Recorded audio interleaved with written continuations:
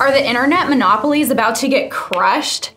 As much as I never like to speak to Spectrum again, I know I'm just gonna have to wait a little bit longer. We do have some information about the ground terminals, which is described by Elon as the biggest hurdle to Starlink success.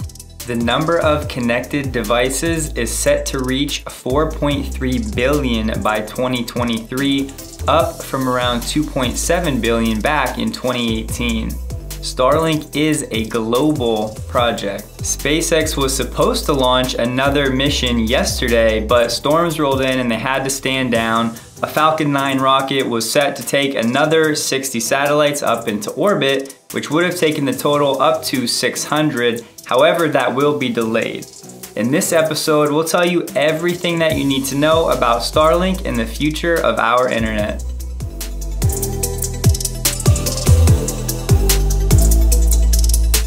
If you're new to this topic, Starlink is a subsidiary of parent company SpaceX.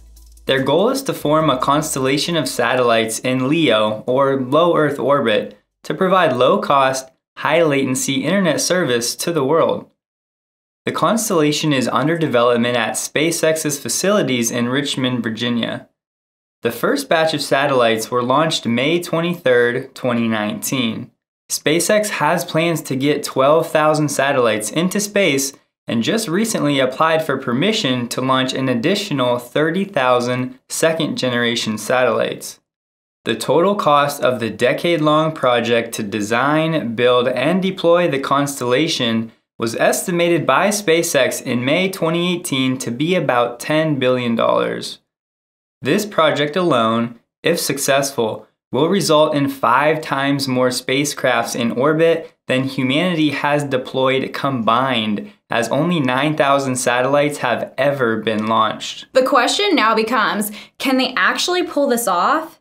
In only nine years? The FCC is going to require that SpaceX make, launch, and fund these 30 to 40,000 satellites in the next 10 years. They're going to have to do this while also replacing the first generation satellites as each satellite has a useful life of around five years. SpaceX only makes 120 satellites per month, which is far too few. But then again, this is Elon Musk we're talking about, who knows more about scaling manufacturing than anyone else on the planet. Each satellite is about the size of a table and weighs 500 pounds.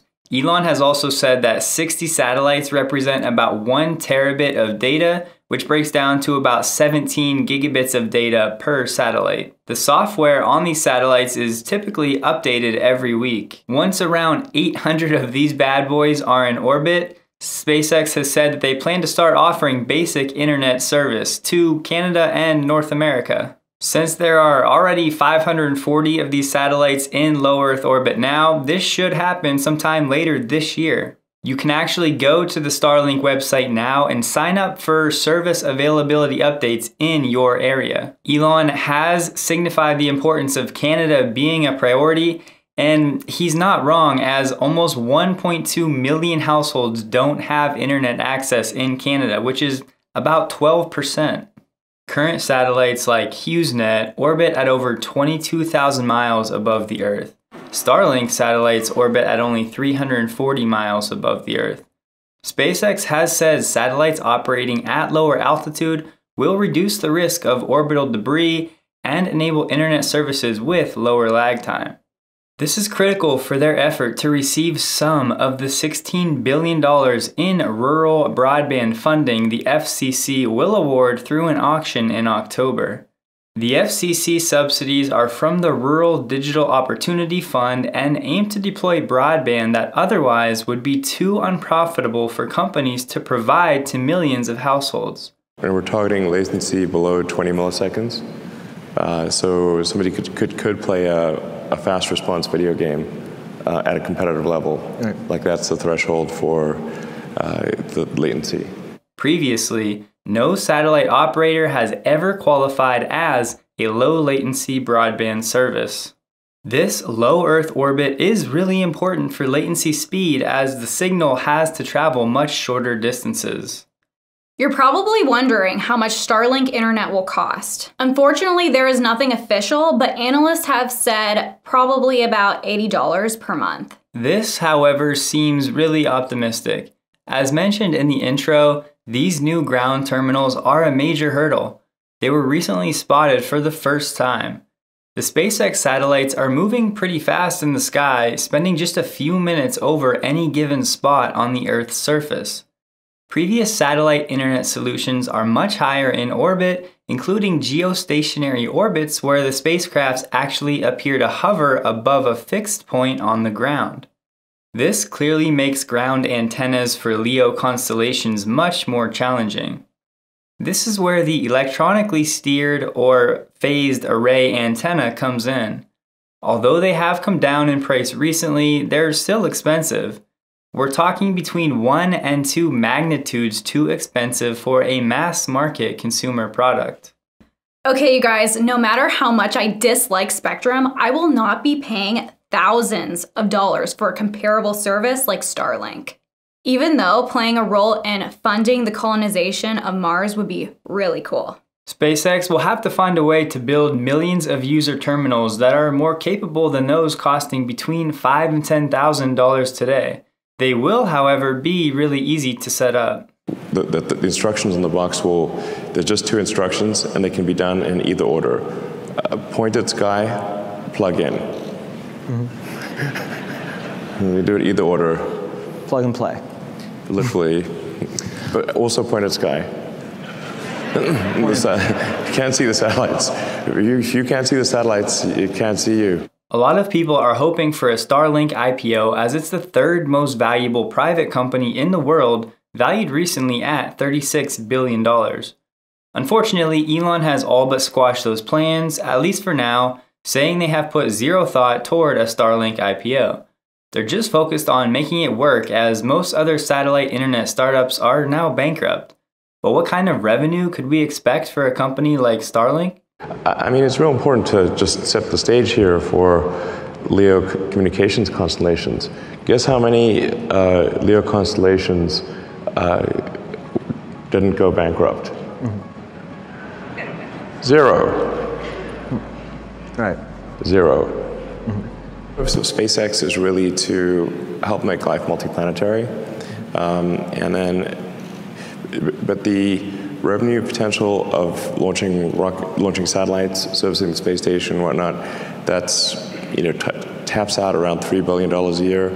Um, but I think uh, providing broadband is is more like an order of magnitude more than that, probably 30 billion a year. I think the military could be a massive customer and Starlink could change the game for our defense department. How much would you think it's worth to have a low latency, high bandwidth, worldwide communication to every warfighting platform on the planet, in the air or on the sea?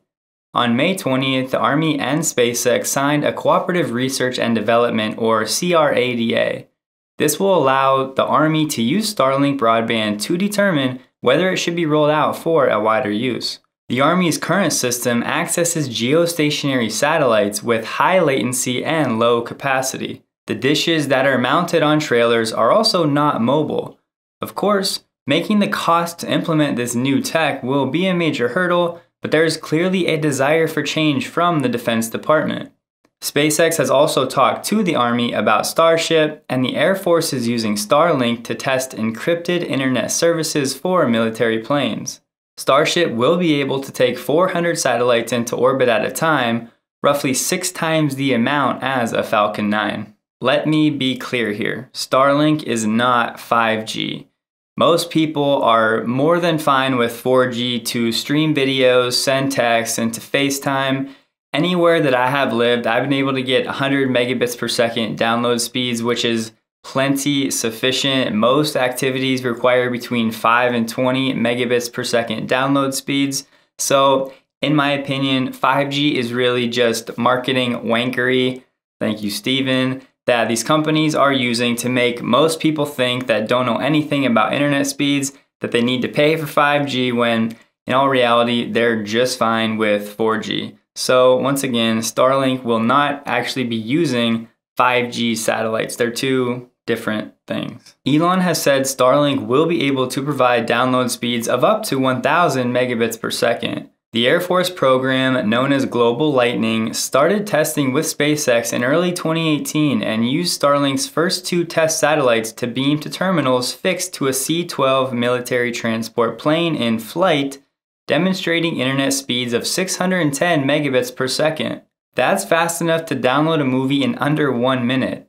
However, if you're now getting excited about having high speed Wi Fi on a boat, in the woods, or on the road this year, we need to slow down, not so fast. 5G is great for high density situations, but it's actually not great for um, the, the, countryside. Mm-hmm. You know, for, for rural areas, it's it's not it's not great. You need you need range. Starlink will effectively serve the I don't know three or four percent hardest to reach customers for telcos, or, or people who simply have no connectivity right now, um, or the connectivity is really bad. So I think it, it will be actually helpful um, and take a, a significant load off the traditional telcos. But don't worry, SpaceX does have plans to have global coverage within the next few years. The main issue is just the densely populated areas, which comes down to cell limitations. It's not good for high density situations. We'll, we'll have some small number of customers in LA, but we, we can't do a lot of customers in LA because the bandwidth per cell is, is simply not uh, high enough. These satellites need direct vision to the ground where they will interact with antennas. This is different than competitors in the space that have mostly failed that send signal directly from the satellites to your device. SpaceX, on the other hand, just got a key government license last week. Federal filings revealed the Federal Communications Commission, or FCC, authorized SpaceX to start rolling out 1 million ground antennas that will be connected to the Starlink constellation. The license explained that each ground antenna is about 19 inches across, roughly the size of a pizza box. These antennas will have motors on a stick to pivot and aim the right direction to receive the signal. This project has become really controversial in the past few months.